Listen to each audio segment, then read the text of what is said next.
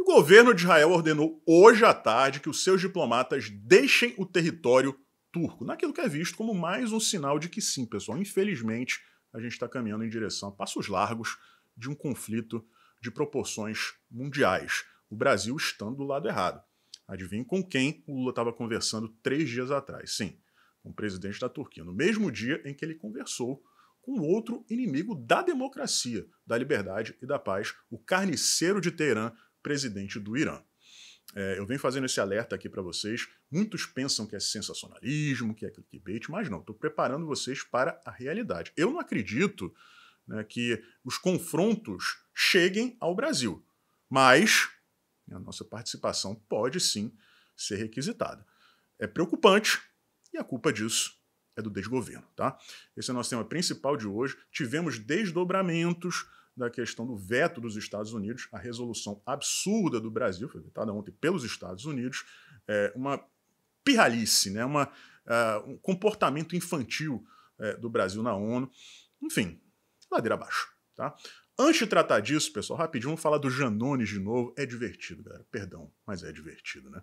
É, a gente já tinha conversado sobre parte dos áudios que tinham vazado, né? ele xingando, ofendendo é, os seus assessores, uma baixaria sem fim, um cara preguiçoso, traz a chave para mim!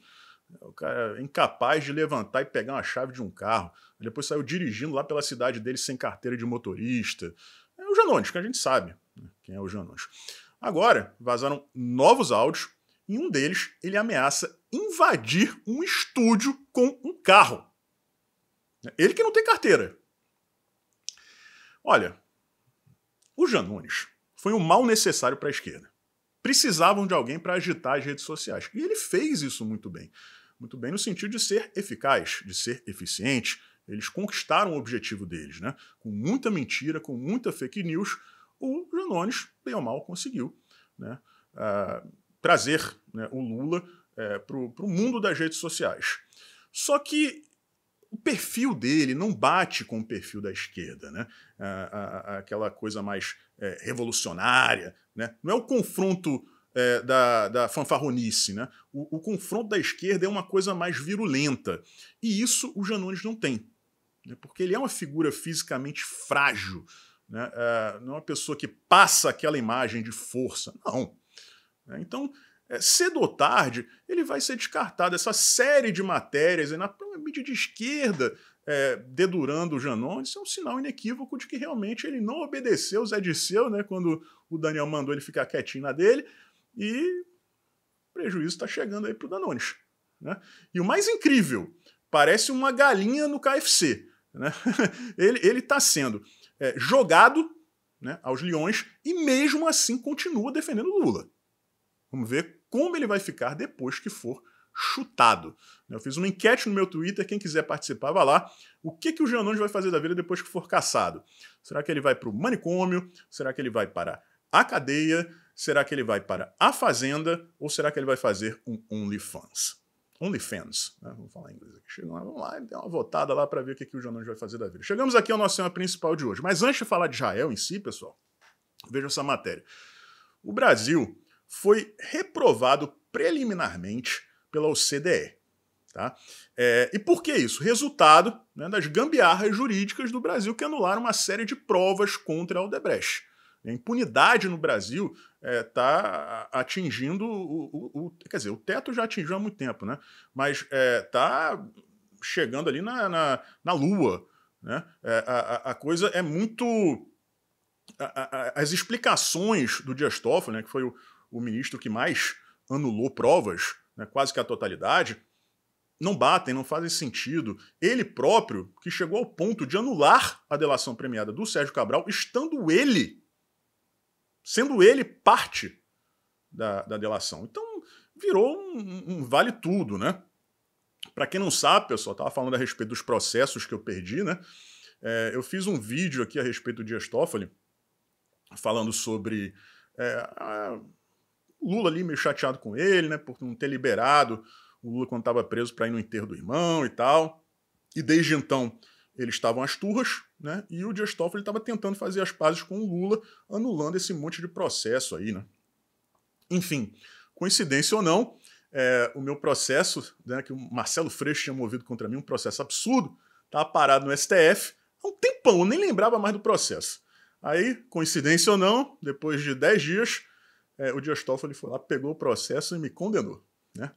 Depois do vídeo. Mas coincidência, coincidência, né? De repente, se daqui a 10 dias aparecer um outro processo aí, a gente já começa a pensar, e não é tão coincidência assim, né? Mas está aí o resultado dessa irresponsabilidade, dessa várzea jurídica em que o Brasil foi transformado. Né? A, a, a, percepção internacional do que é o Brasil hoje é péssima, tanto em relação à guerra, lá em Israel, como também a impunidade dos corruptos aqui no Brasil. Tanto é que temos um corrupto, né? o maior de todos, na presidência da República. É, como maneira de protestar contra o veto é, dos Estados Unidos ontem, né, a resolução esdrúxula que o PT apresentou, é, várias delegações diplomáticas né, que estavam lá na, na, na, reunião da ONU, na sessão da ONU, deram as costas para a embaixadora norte-americana nas Nações Unidas. É, dentre essas delegações estava a do Brasil. Então, nós temos um, um, um, governo, né, um corpo diplomático que tem vergonha de chamar o Hamas de grupo terrorista, mas ao mesmo tempo dá as costas para a nação mais poderosa do mundo, que hoje é governada também por um velho gagá. Ah, mas é, tanto o Partido Democrata quanto o Partido Republicano, é, eles têm alguns posicionamentos ali que são imutáveis.